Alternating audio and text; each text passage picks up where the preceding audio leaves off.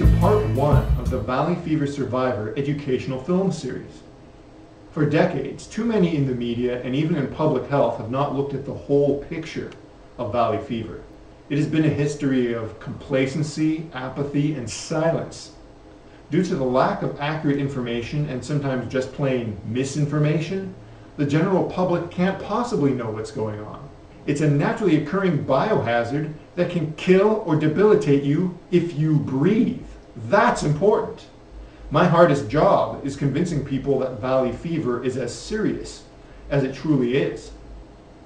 Most people wouldn't think a mycology textbook could say more about current events than a daily newspaper. But when it comes to this deadly epidemic, they'd be wrong. When most people hear the word fungus, they usually think of an annoyance like athlete's foot. They imagine they can take a pill or salve to get rid of a fungal infection and go on about their lives. Unfortunately, that is far from reality with valley fever in the human or even animal body. Coccidioides replicates at such an alarming rate that it is considered the most virulent fungal parasite known to man. These microscopic spores are invisible to the naked eye and the same size as the anthrax spore. 15 trillion spores can fit into a cubic inch, and it takes only one spore for a potentially lethal infection. Further, Coccidioides is regulated along with anthrax and other biological weapons.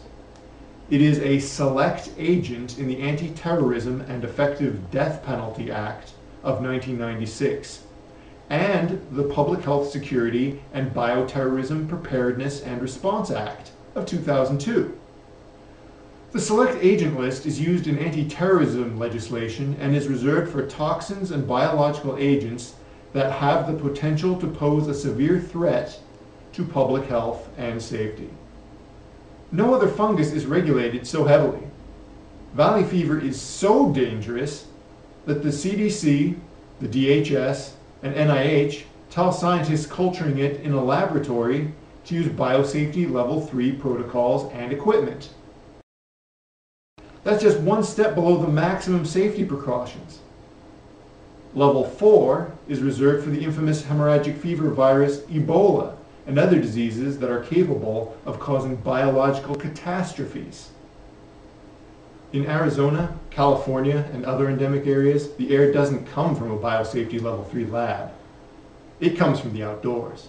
With this fungal parasite, you should forget whatever you have heard about any other type of fungus, and even what you thought you knew about valley fever. This is an incurable disease, and once you inhale a spore, you have it for life.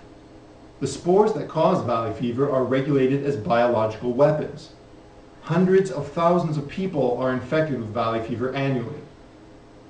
The only difference between the ongoing valley fever epidemic and a terrorist attack is that the winds, constructions, cars, and leaf blowers don't intend to be mass murderers when they spread these spores into the air. We need to alert everyone, nationally and internationally, about the bioterrorist threat that grows in our own backyard. Stay tuned for many more videos in this series.